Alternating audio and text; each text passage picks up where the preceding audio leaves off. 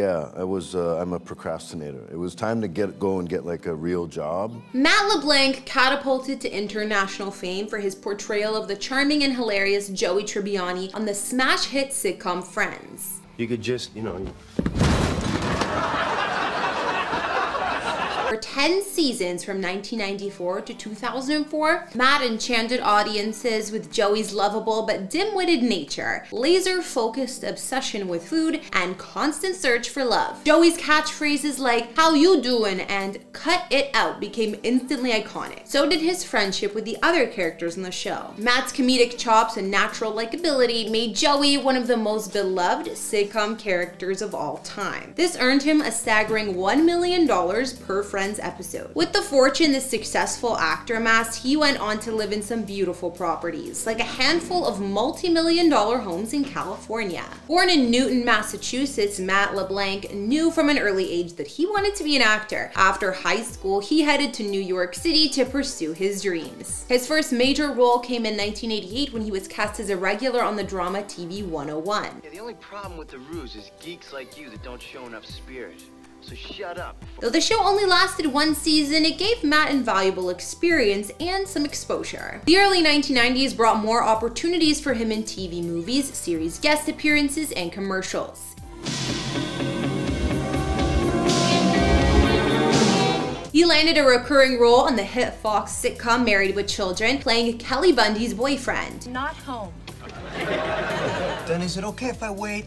He also appeared in popular shows like Red Shoe Diaries and Top of the Heap. When the Friends producers were searching for their six leads in 1994, they knew Matt LeBlanc was the perfect fit for Joey, thanks to his work on Married with Children. He earned multiple Emmys, Golden Globes, and SAG Award nominations for his acting on Friends. With Friends firmly behind him, Matt joined the edgy Showtime comedy episodes in 2011 as a fictionalized version of himself. His performance as a narcissistic womanizer willing to sell out for success success earned him a Best Actor Golden Globe in 2012, as well as four more Emmy nominations. He also became a regular TV role in the CBS sitcom Man with a Plan from 2016 to 2020. As an old school father adapting to modern family life, Matt got to showcase more of his acting range. Off screen, Matt is a loving father to his daughter Marina with ex-wife Melissa McKnight. In 2006, at the height of his friend's fame, Matt purchased a Spanish-style home, an exclusive exclusive Pacific Palisades neighborhood of Los Angeles for 7.4 million after his divorce from his wife. But since 2012, he's been renting this house out for $13,000 a month. The four bedroom, four bathroom house is located in the Tony Amalfi rim of the Palisades Riviera. Four years later in 2016, he then decided to completely move on from this property. The eight-time Primetime Emmy Award nominee listed it on the market with an asking price of nearly $9 million.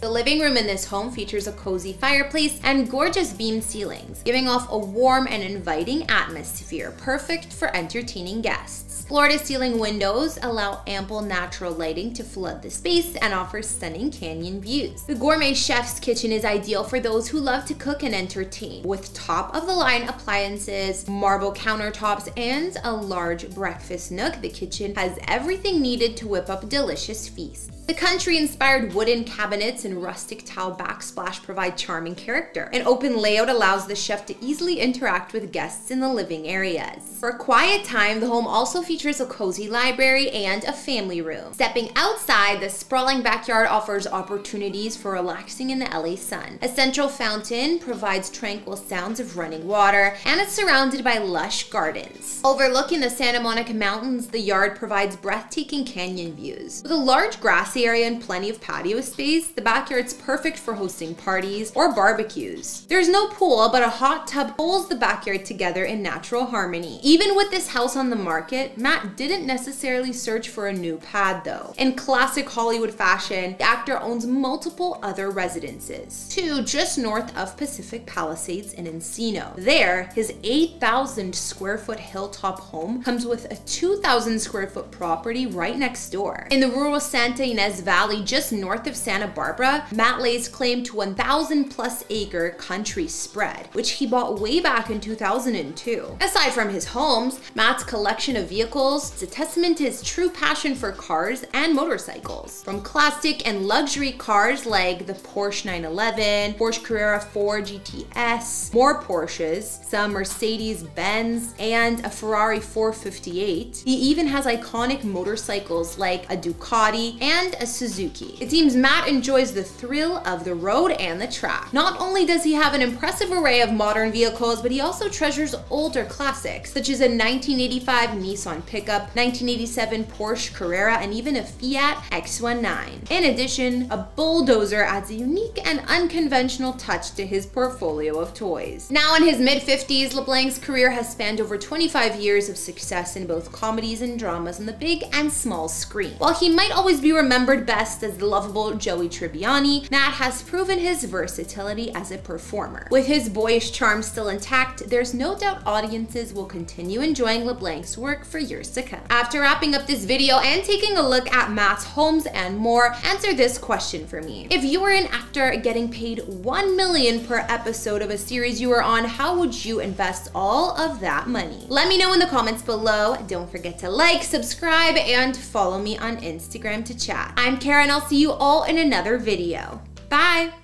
Courteney Cox might enjoy Hollywood events once in a while, but she much prefers spending time at her stunning Malibu estate with her daughter Coco and their dogs. The actress said it herself in 2017. This is a house I'll never move from. It really is so special to me. I found the perfect home and perfect it is. She bought her beachfront mansion in 2007 and it boasts two acres of land, multiple bedrooms, a chef-grade kitchen, a sleek and modern pool, and much more. In these videos, we don't reveal any addresses, and even though I've done a house tour of my own place, please do not show up at any private residences because it's not safe for anyone. Courteney Cox is an actress, director, and producer who gained fame starring as Monica Geller on the hit NBC sitcom Friends, which aired from 1994 to 2004. Not to mention, she gained further recognition for her role as Gale Weathers in the horror film franchise Scream from 1996 till present day. At the time of this recording, Courteney has amassed an estimated net worth of $150 million. While a famous purple apartment her character Monica lived in on Friends may have inspired decades of interior design, it turns out that her home in Malibu is just as, if not more, stylish. If that's not enough for you, the actress recently revealed her Hollywood starter home was actually haunted with a mysterious past. So we're gonna check out that home too. Hey guys, it's Kara the Vampire Slayer back with another exclusive house tour here in Famous Entertainment. In this one, looking at where Courteney Cox calls home. Don't forget to like, subscribe, and hit me up on Instagram to chat. Now let's get into this video.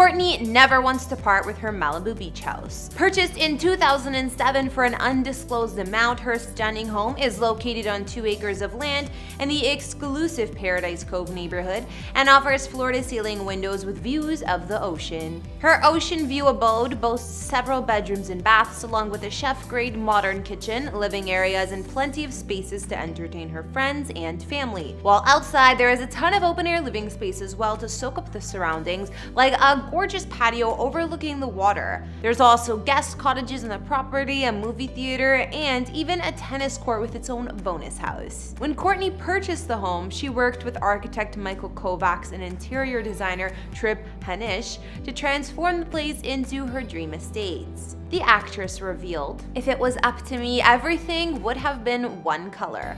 Monochromatic, very simple. When I got this house, my designer was able to bring in the pops of color and the interesting pieces I wouldn't have necessarily gone for. We had a fantastic time doing it. She wanted to make her home warm and inviting, so she added some darker and moodier colors to the scheme.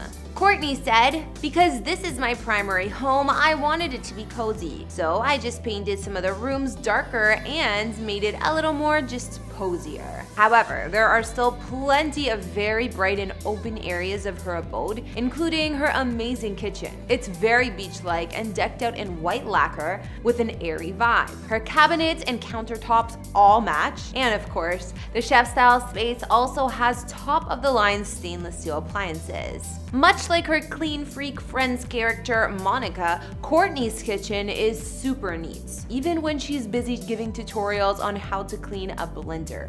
We can see her spotless countertops, open shelving holding a collection of plates, bowls, and leafy plants as well. In some common rooms, vaulted ceilings and lighting make Courteney's home ideally cozy. The living room offers a unique wooden coffee table and a brick fireplace, not to mention a TV above it. There's also a wall of large windows to take advantage of the Malibu views. Another room is furnished with cream-colored couches and chocolate-toned cushions, while the third lounge area boasts all gray furniture. One of Courteney's big beige couches is perfect for when the actress snuggles with her pups. Nearby, the area is decorated with artwork and plenty of flower arrangement. When speaking about her aesthetic back in 2017, Courteney said, before, I was kind of into organic with modern, and now I'm into really old mixed with cleaner stuff. I'm not really changing everything, just a shift. Why not? On the opposite side of one of her living rooms, the star has a grand piano with a gaming area behind it, also with a pool table.